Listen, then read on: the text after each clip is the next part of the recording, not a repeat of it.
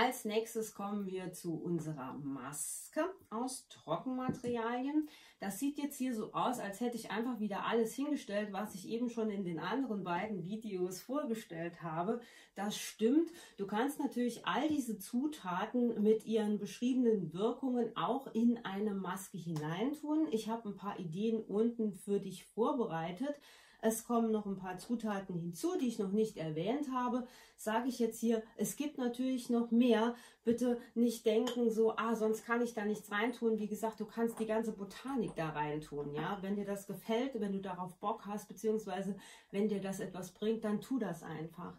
Was man nicht vergessen sollte, bei Masken zu erwähnen, sind natürlich die Erden grüne Heilerde, dann das wunderbar sanfte Kaolin, ähm, braune Heilerde oder auch rote Heilerde teilweise genannt. Du kannst auch Rasul nehmen, das ist jetzt hier nicht auf dem Brettchen drauf. Und last but not least, du kannst theoretisch auch eine Maske aus Aktivkohle machen.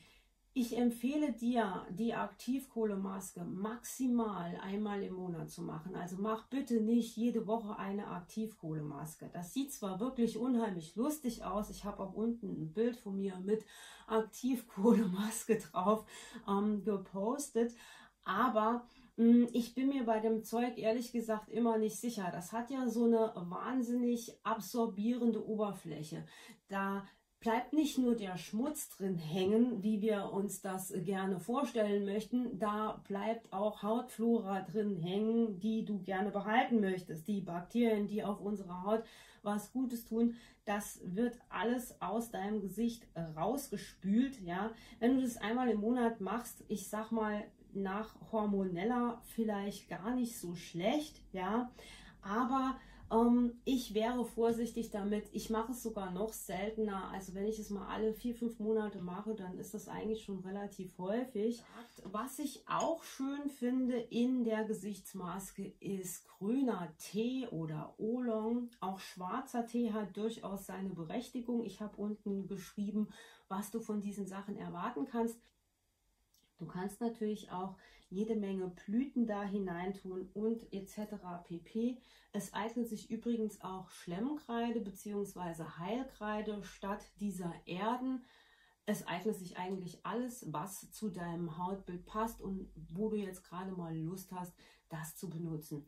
Ideen, wie gesagt, findest du unten und du würdest jetzt einfach hergehen, würdest da einen Esslöffel in ein Schüsselchen tun mit Wasser aufgießen und zusammenrühren und dann eben gleichmäßig ins Gesicht schmieren.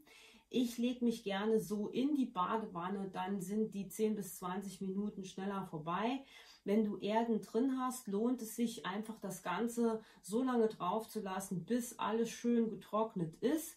Und wenn du die Erden benutzt, bitte unbedingt im Anschluss einen Toner drauf, beziehungsweise am besten ähm, zum Beispiel ein Teelöffelchen äh, Apfelessig oder ein Spritzer Zitronensaft ins Wasser hineintun und richtig schön ordentlich ähm, die Haut klären nach der Anwendung von Erden, weil sie trocknet dann zu schnell und zu stark aus. Wirklich, das möchtest du nicht. Gut, dann fehlt uns noch das Toner-Video. Das gibt es in den nächsten Tagen und ich verabschiede mich für heute und wünsche euch viel Spaß beim Maskenmachen. Miau.